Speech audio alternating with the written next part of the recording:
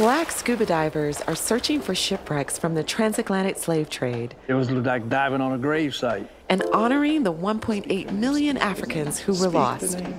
I'm National Geographic explorer Tara Roberts, and I dropped everything to travel with these divers. Come to Costa Rica! Join me for Into the Depths, a six part Nat Geo podcast series starting in January. It's going to be an incredible journey.